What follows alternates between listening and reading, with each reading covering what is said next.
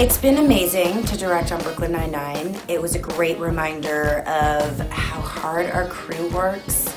It was great to spend time with uh, people on the crew that aren't necessarily on set all the time, that work more behind the scenes, um, like set deck and art department, um, and you're just working with a bunch of creatives all week. And also another good reminder of how incredible this cast is. I knew, but it was so fun to watch pretty much every scene across the board with whoever was in it by the fourth take was like, that was a great take that you could put on television right now.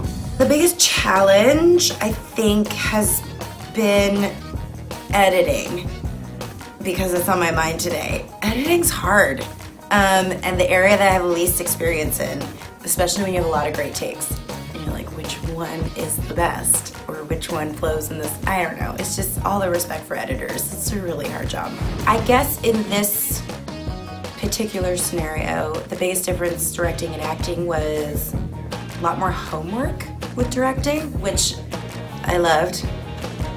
Something in common with Amy. I don't know, they're alike in a lot of ways in terms of, you know, sort of mixing technical and creative, but in very different ways. Like directing, you're actually talking about like technical camera angles and that kind of stuff, and acting, you know, you're playing something a certain way for camera or to land a joke. I just had a blast doing it. My favorite part of directing was working with Lo Truglio and Braugher.